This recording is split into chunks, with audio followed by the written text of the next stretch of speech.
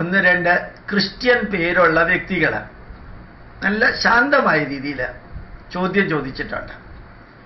ഒരാൾ ചോദിച്ചത് ഈ സിംബാബ്വേയിൽ വെള്ളത്തിലൂടെ നടക്കുമ്പോൾ ക്രിസ്തുവിന്റെ മഹത്വം കൊണ്ട് മുങ്ങാതെ വെള്ളത്തിലൂടെ നടക്കാമെന്ന് പറഞ്ഞ് പോയി അയാൾ മുങ്ങി മുതല പിടിച്ചു അയാളെ കൊന്നു എന്നുള്ളത് ഞാൻ അടുത്ത കാലത്ത് പറയുകയുണ്ടായി.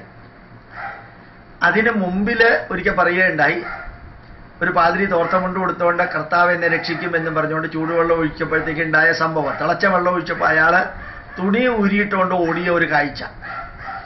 അപ്പൊ ഇതിനെ രണ്ടിനെയും ആധാരമാക്കിയിട്ട് നല്ല ഭാഷയിൽ ഒന്ന് രണ്ട് മൂന്ന് ക്രിസ്ത്യൻ പേരുള്ളവരെ ഞാൻ ഈ ക്രിസ്ത്യൻ പേര് കണ്ടിട്ട് ക്രിസ്ത്യാനിയാണെന്ന് പറഞ്ഞാൽ ചിലപ്പോൾ അബദ്ധാവും. ഹിന്ദു പേര് കണ്ടിട്ട് ഹിന്ദു ആണെന്ന് പറഞ്ഞാലും അബദ്ധാവും. അതുകൊണ്ട് ഞാൻ ആ പേരിനെ കുറിച്ച് മാത്രം പറയാം. ക്രിസ്ത്യൻ പേരുള്ള ഒന്ന് രണ്ട് പേര് എഴുതി. ഇവർ വെള്ളത്തിലൂടെ നടക്കുമെന്ന് പറഞ്ഞ് മുതല പിടിച്ചതും യേശു ക്രിസ്തുവുമായിട്ട് എന്താ ബന്ധം?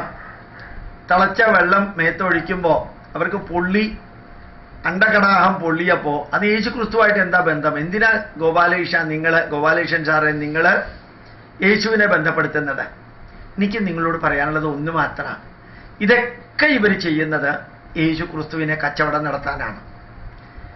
യേശു ക്രിസ്തുവിന് ഇതുമായിട്ട് ഒരു ബന്ധമില്ല ഒരു സംശയവുമില്ല.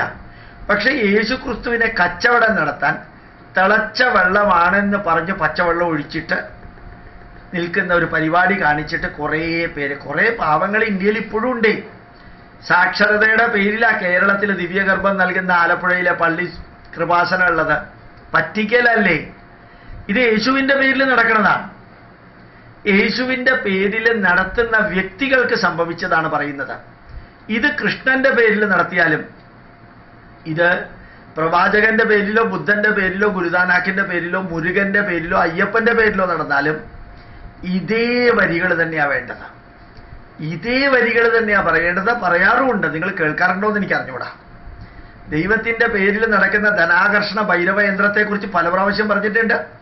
ജ്യോതിഷത്തിന്റെ പേരിൽ നടക്കുന്ന വലമ്പിരി ശംഖ് വീട്ടിൽ വെച്ച ഐശ്വര്യം ഉണ്ടാവും. പാൽപ്പായസ ഹോമം എന്ന് പറഞ്ഞൊരു നമ്പൂതിരി ജനം ടി വിയിൽ അഡ്വർടൈസ്മെന്റ് കൊടുക്കുന്നുണ്ട്. ലോകത്തിൽ ഒരിടത്തും ഇല്ലാത്ത പാൽപാത്ത പാൽപ്പായസ ഹോമം കേട്ട അറപ്പ് തോന്നും. പൂജയും ഹോമമൊക്കെ കുറെ പഠിച്ച ആളെന്നുള്ള അഹങ്കാരത്തോടു കൂടി പറയല്ല അഭിമാനത്തോടു കൂടി പറയാം നിങ്ങളുടെ പ്രശ്നമൊക്കെ തീർക്കാൻ പാൽപായസ ഹോമം. അങ്ങനെ ഒരു ഹോമം ഉണ്ടോ? ഹോമത്തിൽ പാൽപായസം ചേർക്കാറുണ്ട്. പാൽപായസ ഹോമം എന്നൊരു ഹോമം ഇല്ല. ഈ ജ്യോതിഷത്തിനകത്ത് നടക്കുന്ന തട്ടിപ്പ് വാസ്തുവിദ്യക്കകത്ത് നടക്കുന്ന തട്ടിപ്പ് അതുപോലെ തന്നെ നിമിത്തത്തിൽ നടക്കുന്ന കുറെ തട്ടിപ്പുകൾ ഇങ്ങനെ പൊരുത്തം നോക്കുന്നതിൽ നടക്കുന്ന തട്ടിപ്പുകൾ ഇതിലെല്ലാത്തിനെയും കുറിച്ച് പറയാറുണ്ട്. എല്ലാത്തിനെയും കുറിച്ച് പറയാറുണ്ട്. ചില ചില രക്ഷയൊക്കെ കെട്ടിക്കഴിഞ്ഞാൽ നിങ്ങൾക്ക് ഒരു പ്രശ്നം ഉണ്ടാവില്ല എന്ന് പറഞ്ഞ അഡ്വർടൈസ്മെന്റ് ഉണ്ട്. എന്താ അതിന്റെയൊക്കെ പുറകിൽ നടക്കുന്ന തട്ടിപ്പ്? പക്ഷേ വികസിത രാഷ്ട്രങ്ങളിലെ മതവും യേശുക്രിസ്തുവിനെ കച്ചവടം നടത്താനായിട്ട് ഇറങ്ങി പുറപ്പെടുന്നവരും അത്ഭുതങ്ങൾ കാണിക്കാൻ വേണ്ടിയിട്ട് യേശുവിന്റെ പേരിലാണ് ഈ തിളച്ച വെള്ളം മേത്തൊഴിച്ചതും. യേശുവിന്റെ പേരിലാണ് കായലിലൂടെ നടക്കുമ്പോഴത്തേക്ക് മുകളിൽ കൂടെ നടക്കാമെന്ന് പറഞ്ഞ് ജനങ്ങളെ പറ്റിക്കുന്നതും. അത് പലതും തലേ ദിവസം രാത്രി നടത്തിയ ചവിട്ട് നാടകത്തിന്റെ പ്രദർശനമാണ്. മുടന്തൻ നടക്കുന്നു ബദിരൻ വീഴുന്നു പിന്നെ ബാധ ഒഴിപ്പിക്കൽ പിന്നെ പതിനാറ് അടിയന്തരം ഈ പാതിരിമാരുടെ വെക്കൽ. അതൊക്കെ ഹിന്ദുവിന്റെ നെഞ്ചത്ത. അതുകൊണ്ടാണ് ഇത് പറയുന്നേ.